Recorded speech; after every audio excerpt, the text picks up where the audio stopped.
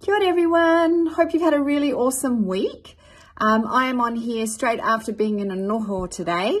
Um, noho is a wānanga, an all-day wānanga, um, which we would normally do at the wānanga, but because of the circumstances, we did it online.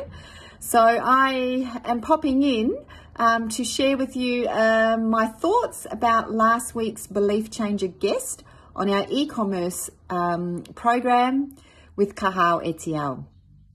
So last week we had the pleasure of meeting Jason Eades. Eades. Um, he's Indigenous from Australia, so he's Aboriginal Australian. Um, he's from um, Northern Victoria, and he is the CEO of a business called Welcome to Country. So, firstly, I was really um, excited or interested to know more about his business because I am familiar with Welcome to Country. Um, this is um, a book that was gifted to us by my beautiful um, soul sister in Perth, um, West Australia. And I'm familiar with the concepts of the ceremony, which is Welcome to Country. Um, so this is an Indigenous platform. So go check it out. Welcome to Country. And his initial idea, um, CEO of the company, was to use technology to help assist Aboriginal businesses to grow and establish themselves. So mana motuhake, so they've got autonomy um, over their services and products.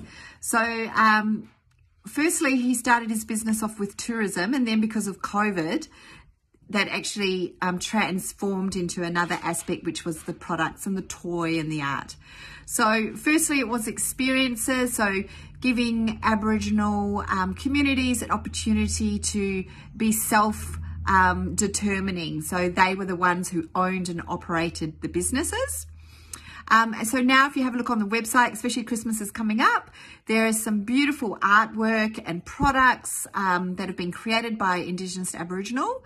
Um, and the most beautiful part of this business is that I have seen with First Nations, especially in America, where a beautiful artist would create something and then the art gallery would send it to a major city and they would put huge markup on it and the actual artists themselves would only receive a very small portion of that.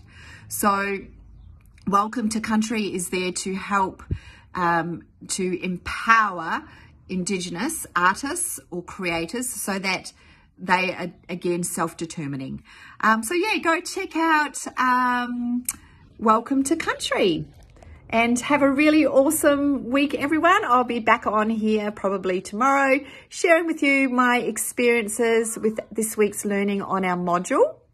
And um, yeah, we're almost finished. We're at week seven, so we've only got three more weeks to go, and then we have graduated from the e-commerce scholarship. So stay tuned, whānau, as part of my series, um, documenting my journey through this amazing opportunity to expand my business. Take care. Ka kite.